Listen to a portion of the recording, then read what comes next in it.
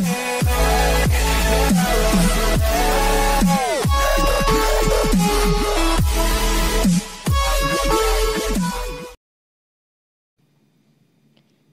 everyone! Welcome back to my channel.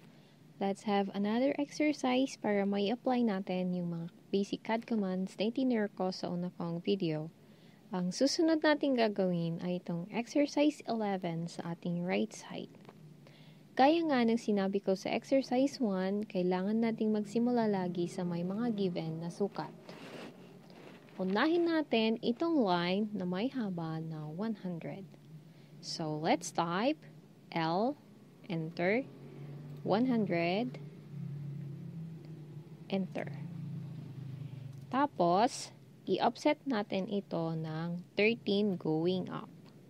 So, let's type O, enter, 13, enter, select object, click going up. Next, i-close natin ito. Type L, enter, click here, and here.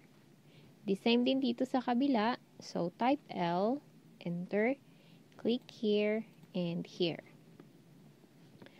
Sunod, i-offset natin ito ng 11 going up.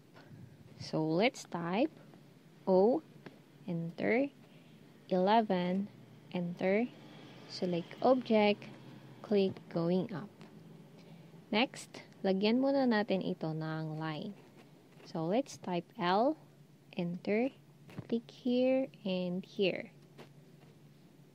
Next, since ang haba nito ay 100 at ang distance nito ay 95, so ang sukat nito ay 2.5 at 2.5 rin sa kabila. Ngayon, i-move natin ito ng 2.5 going right.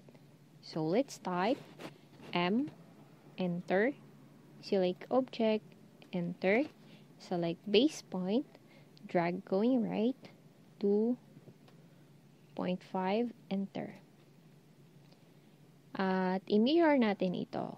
So, let's type MI, enter, select object, enter, specify mirror line dito sa gitna, then enter for now. Next, kung mapapansin nyo, ang arc na ito ay may radius na 11. So, i-fillet natin ito ng 11. Let's type F, enter, R for radius, enter, 11, enter. M for multiple, enter, then fillet.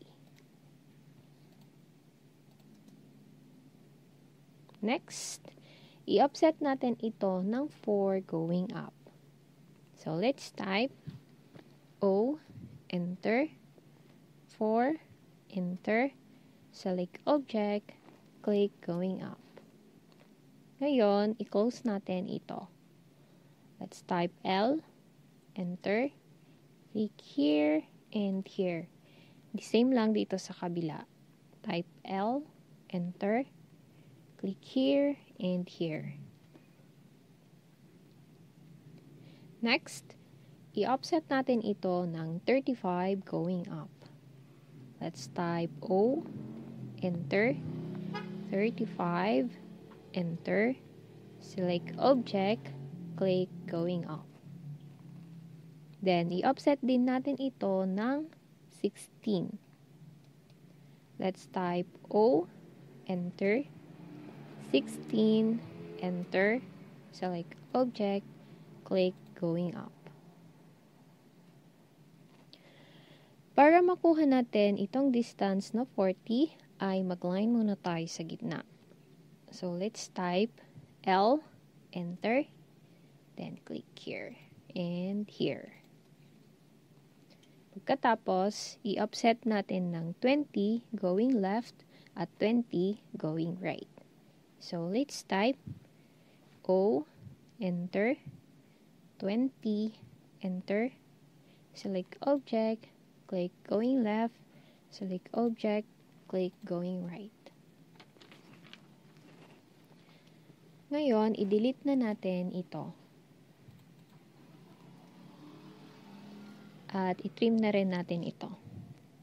Let's type tr, double enter, then trim.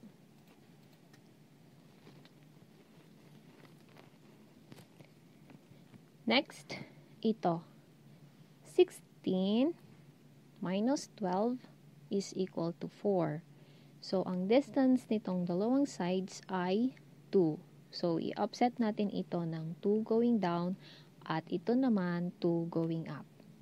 So, let's type O, enter, 2, enter, select object, click going down, select object, click going up. Next, gawin na natin itong circle na may radius na 6. So, let's type C, enter, specify center point dito sa gitna, 6, enter. Ngayon, i-mirror natin ito sa kabila.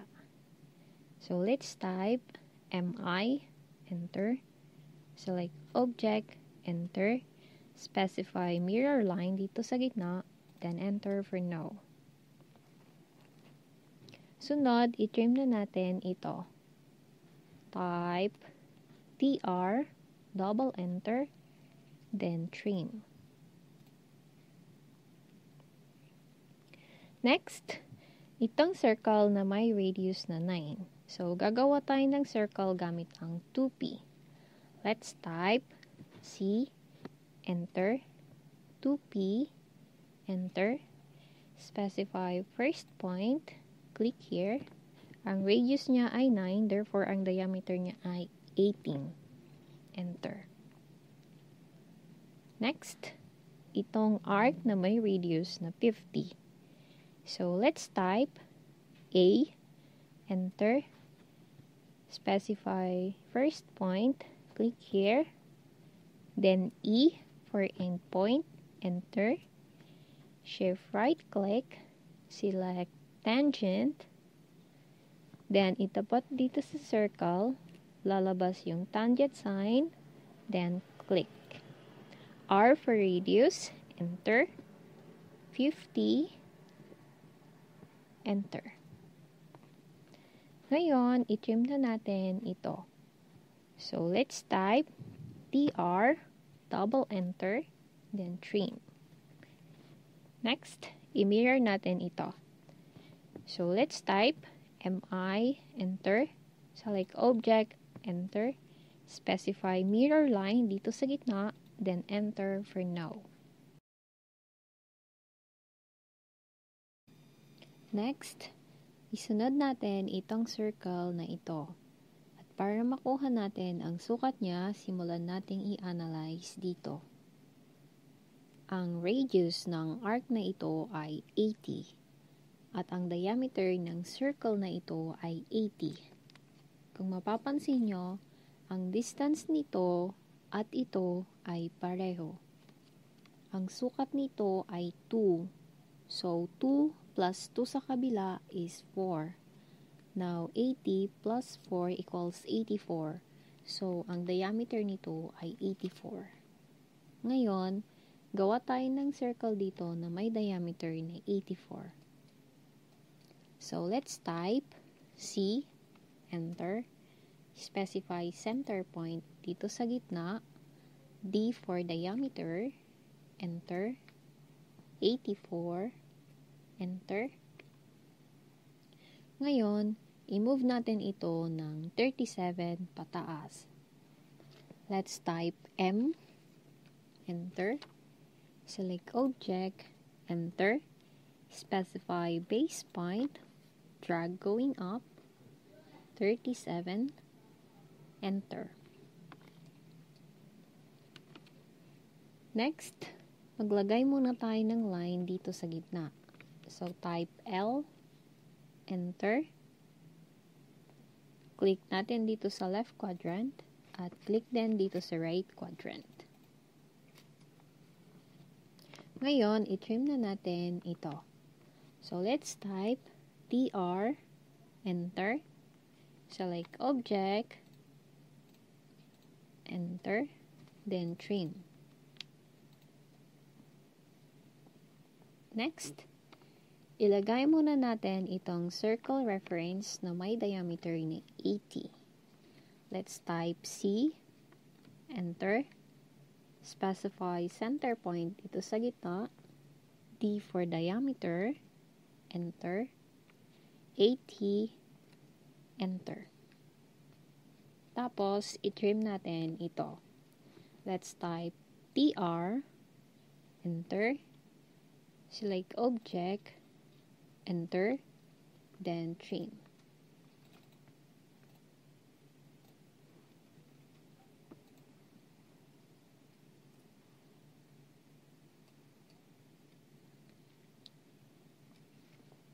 Isunod natin itong circle na may radius na 80.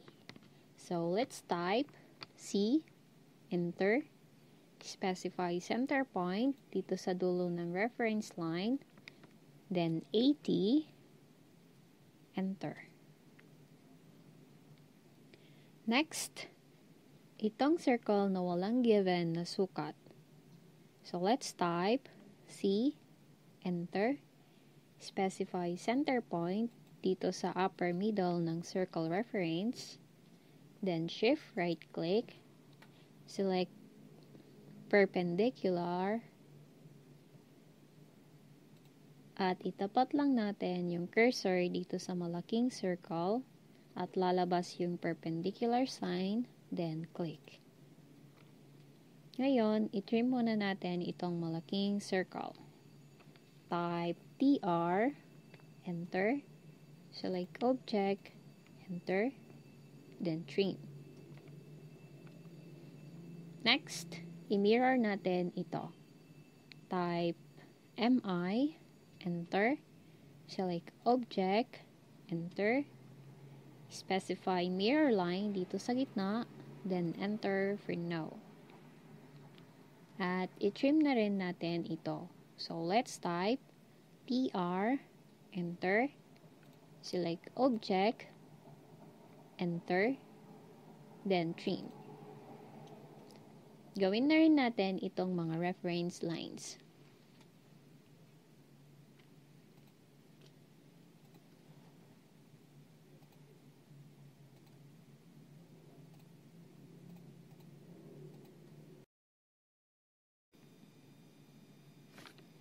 Ngayon, sukatin na natin ito kung tama.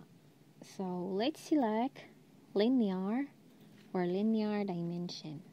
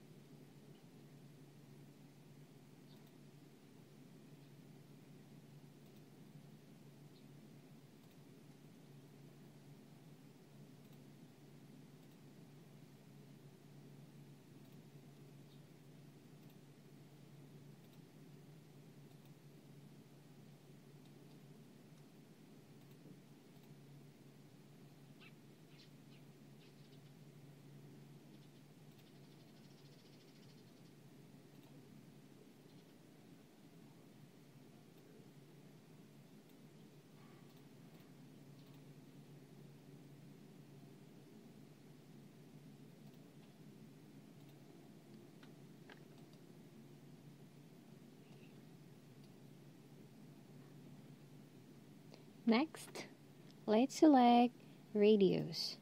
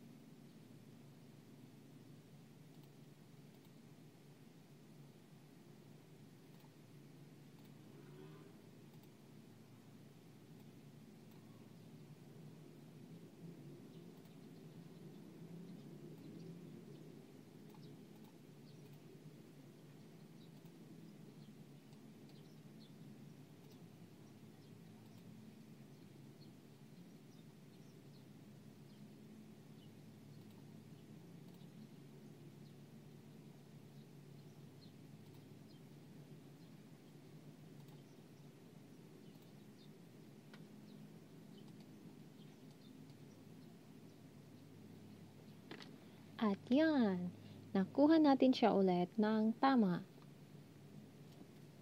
At tapos na nga natin ang ating 11th exercise. At kung may mga katanungan kayo o may mga hindi masyadong naunawaan o nasundang CAD commands, ay mag-comment lang kayo sa baba at sasagutin ko ito. I really hope na may natutunan kayo. Marami pa tayong upcoming exercises, kaya huwag kakalimutang mag-subscribe at i-click ang notification bell para updated kayo for more CAD learnings.